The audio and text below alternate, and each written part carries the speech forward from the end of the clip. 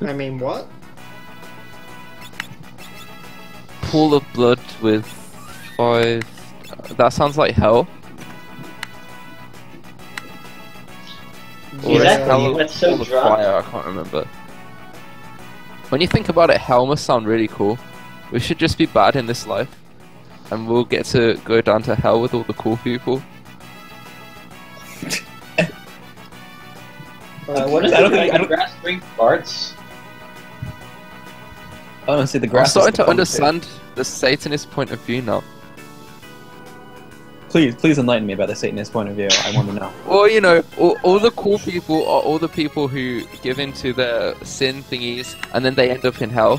So all the cool people end up in hell. So if you e- end up there, then you get to drink blood with all the cool people while bathing in fire. And it's like the most fun afterlife. In in different news, this is literally the easiest boss fight in this entire game. If you okay, Uh, I struggled with it, but I think Yeah, it's yeah, pretty that's, easier. that's because you're a scrub. it's pretty. Okay. This is true. Okay, so all this. Okay, so this boss will spawn flowers if there are no flowers.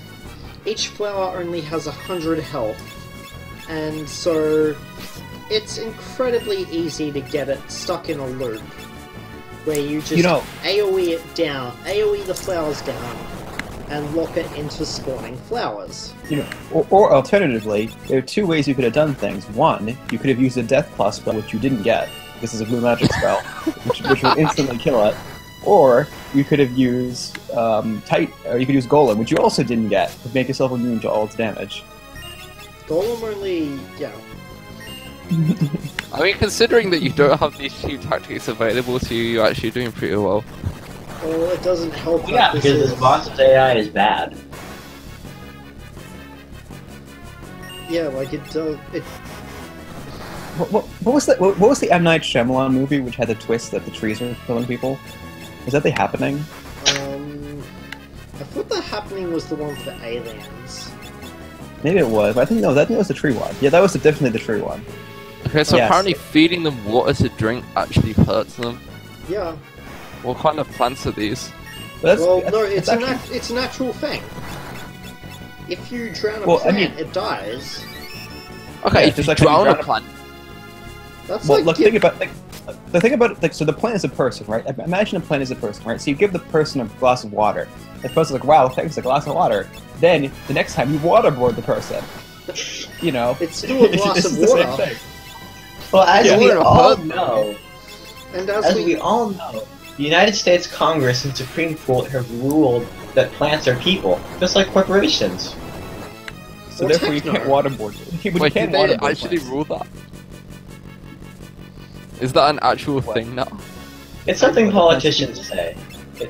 Oh, I don't know what Well, their actual Mich- legal standing is, but I doubt Michigan, they're correct- literally people. And well, I hear I hear that Michigan trees are just the right height. tempting then- tango. It's- and then Wait, it actually worked. He tries to seduce a plant. no, it didn't actually work. It's it just happened. Um, yeah, this is a fight. It it's not a hard fight. It just takes long. And So if you had the if you, if you had the death claw magic, it would be an instant kill. Well, it's not an instant kill. It, it lowers him to one HP. Oh, a single So- digit HP. 10 ABP. Yeah, 10 AP is pretty decent. Like, it's not objet. Di- oh, grind. Objet da. Well, actually, da. it's better than objet Art. It's just, it's not Da. better than lots of Da. Object Art. da. See, No, I- I'm going to be culturally ignorant. I'm going to call them Object Dart. Well, See, see, that's that's because you're British. Yeah, and, and, you're like you have the people. massivist hate burner for the French. It's it's cultural. Like oh, we do. it, it, it goes back to William the Conqueror because he was like, "Fuck you, French king. I'm going to be king of England." And the Pope was like, "Yeah, bro, I've got your back. Go be king of England." And so That's exactly how it happened. that, no, that's actually literally how it happened. Yeah, yeah, I know, I know. No, just just for our less educated, um, Not less educated.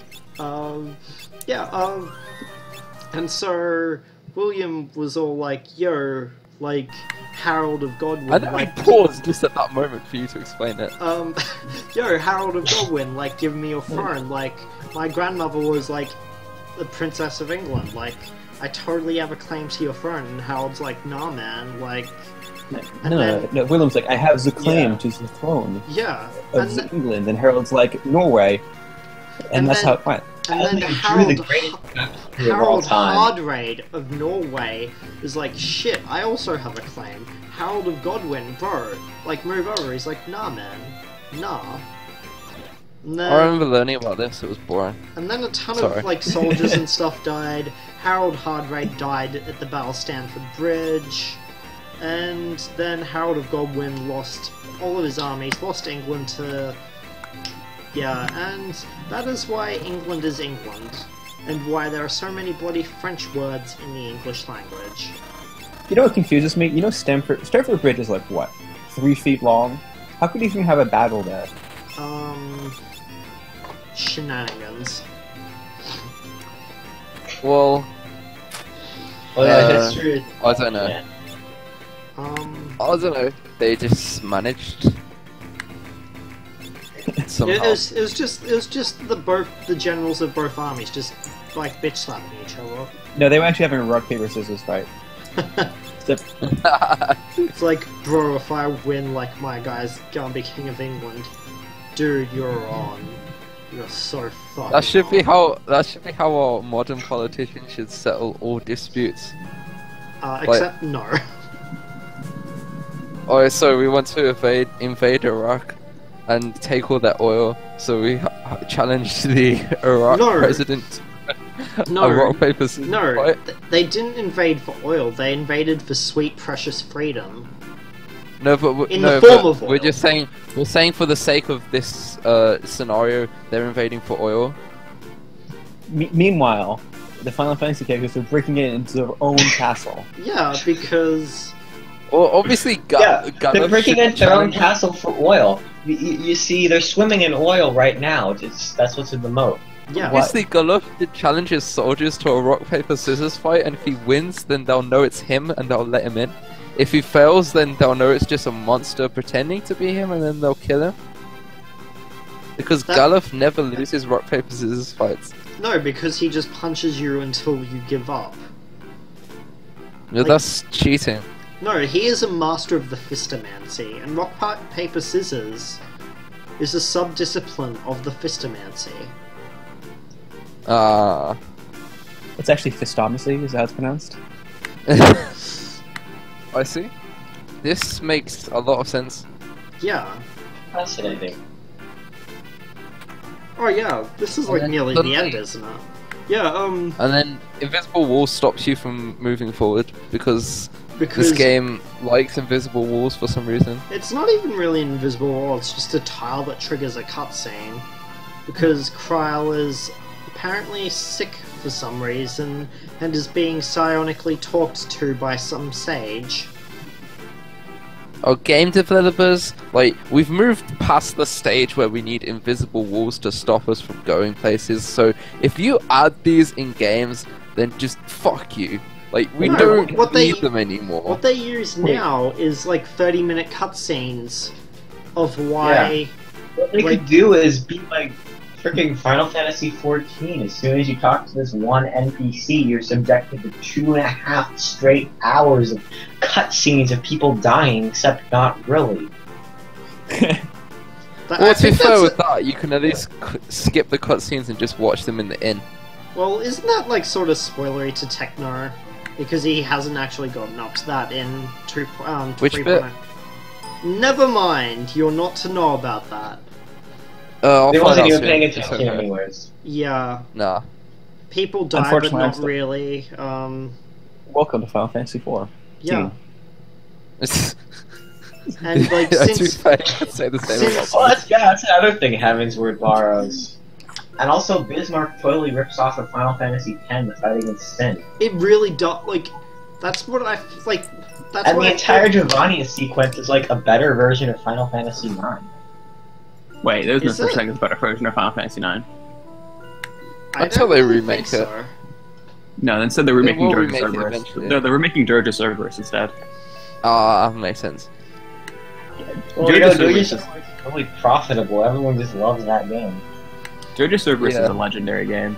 That's the It best game of so Invisible well. Walls. That's the best game of Invisible Walls ever.